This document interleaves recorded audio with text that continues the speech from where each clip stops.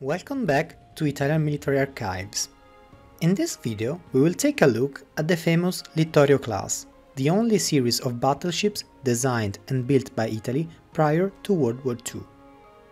We will take a look at their design and technical specifications, while their operational history will be covered in a second video. On paper, these ships were built within the boundaries of the Washington Naval Treaty, with a maximum standard displacement of 35,000 tons.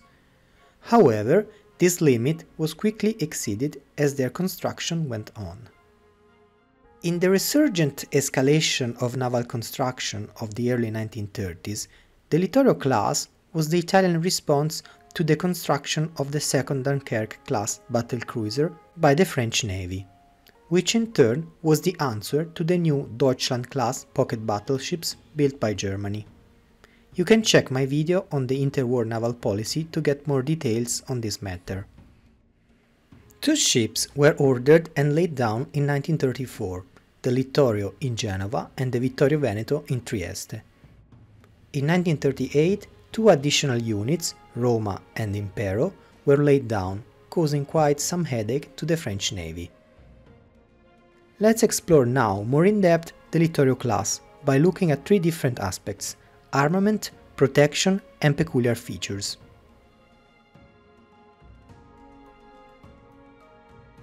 The maximum caliber allowed by the naval treaties was 406 mm. However, Italy had never developed or was in the process of developing any guns of this kind. Developing such weapons from scratch would have seriously delayed the construction of the Littorios. The most obvious solution was to design a new version of the 381mm guns originally built during the Great War for the never completed super dreadnoughts of the Caracciolo class. The new guns were designed to have extremely high velocity. The reason for this was to grant the guns the same penetration power as the 406mm guns. They also had a very long range, in line with the practice of the Italian Navy to engage the enemy from afar. However, the high velocity feature had detrimental effects on the shell dispersion in addition to other factors that we will see in the second video.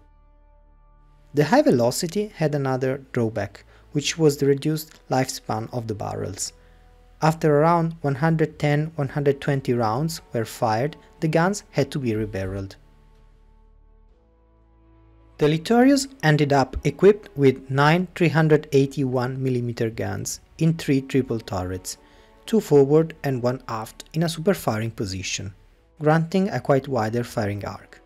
The secondary armament consisted of 12 152mm guns in four triple turrets, the same armament of the Duca degli Abruzzi class cruisers.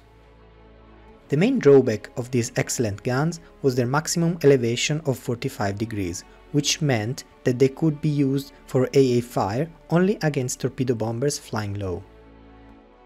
The main AA armament consisted of 12 90mm guns, 6 per side, supplemented by an array of smaller 37 and 20mm guns. To fire all these weapons, the Littorios relied on a quite large number of fire direction stations and rangefinders, coincidence and stereoscopic ones. Here I will recall very briefly how a battleship fires with its main guns utilizing the above mentioned equipment. Essentially, the fire director identified the target, the rangefinders identified the distance and its course. These data were then processed by the fire control computer that in turn communicated elevation and bearing to the main battery, which fired upon the order of the fire director. To get a much more detailed overview of how this process works, check Drachinifel's video on the subject.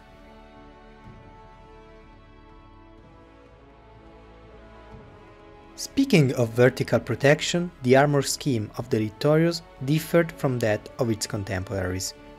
Instead of a single piece of armor, 350mm thick, they had a main armor belt of 280mm plus an additional 70mm decapping plate on the exterior, separated by a 25mm gap from the main plate filled with cellular concrete.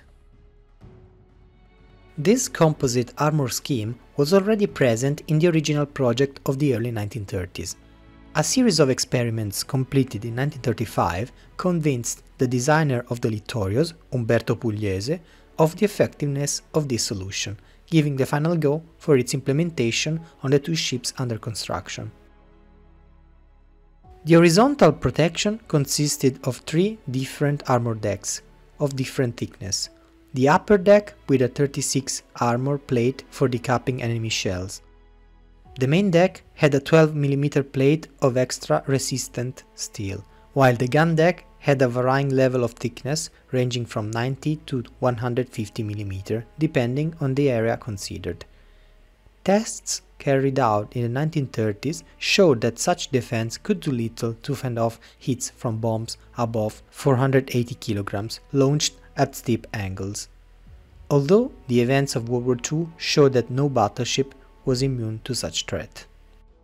Another distinctive feature of the Littorios was their torpedo defense system, also known as the Pugliese system.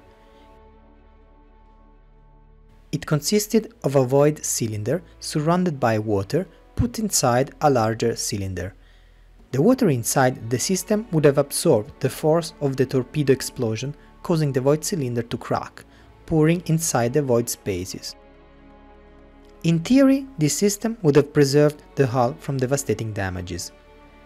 The cylinders protected the underwater section of the citadel, running for 120 meters, and the diameter was reduced towards the two ends, making these sections more vulnerable.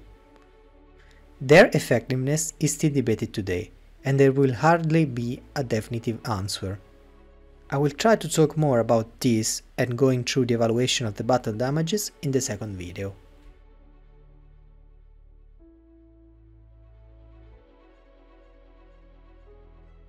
The Littorio class implemented another unique solution with respect to the rudder arrangement.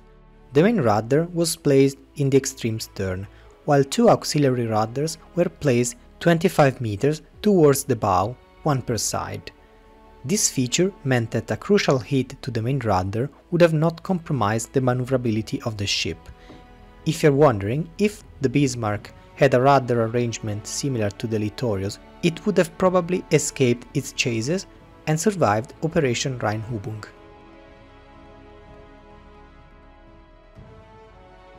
The battleships were equipped with one catapult placed on the stern section, operating three Imam RO-43 seaplanes, the standard aircraft employed by the Regia Marina on its ships.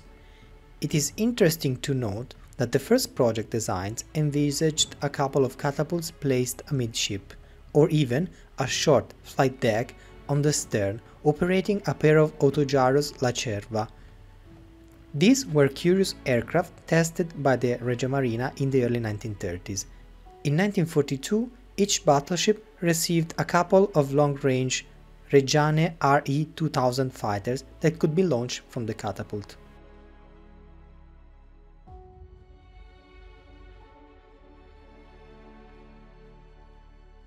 It is quite known that the Italians did not develop any radar devices, at least in time for making any substantial use of them in World War II. In the summer of 1941, an experimental device was installed on the battleship Littorio, but trials at sea occurred in the second half of the year did not earn satisfactory results. Works and tests continued and only in 1943 the new Italian radar, called EC3 TER, was installed on the three Littorios. However, the course of events, and especially the signing of the armistice between Italy and the Allies, meant that these devices were never used in combat.